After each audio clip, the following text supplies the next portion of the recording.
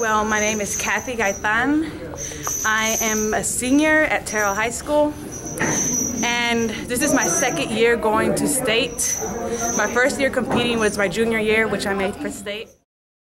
In my regionals, I placed first place ahead by 75 pounds, a weight total of 775. And I'm really having my finger crossed for state, so wish me good luck because I'm going to place. All right.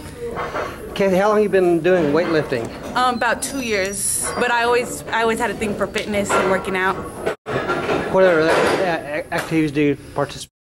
Um, volleyball and powerlifting. So I did a total of four weight, I mean four sports. Have time for studying in there? Oh yeah, I am taking college classes right now. I'm passing all of my classes.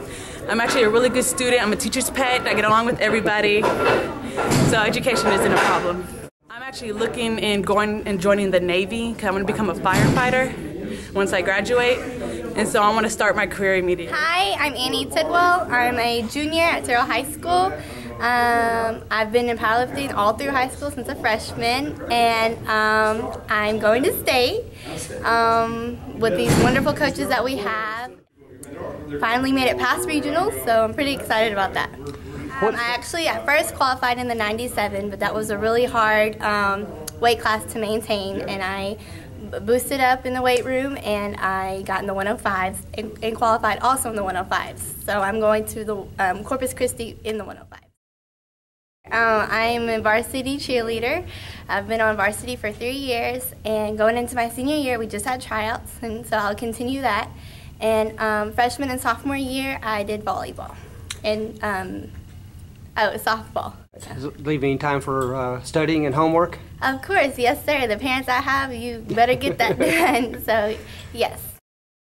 What do you plan to do once upon graduation? Go to college and get my communications degree and be a flight attendant. All right. Congratulations, Annie. Thanks Thank so much. You. Hi, my name is Jade Hays, and I'm a senior, and I'm going to Corpus Christi because I was an alternate in the regional powerlifting.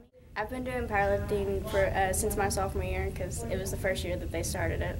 Why powerlifting of all things? Uh, honestly, I did it to make myself become a stronger cheerleader and stronger softball player, but I kind of fell in love with it, so I just kept doing it. Also involved in a bunch of school activities.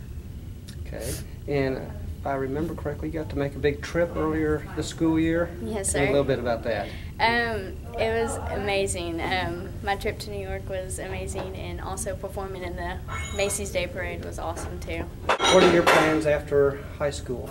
Um, I want to try to go to OU and become a nurse practitioner.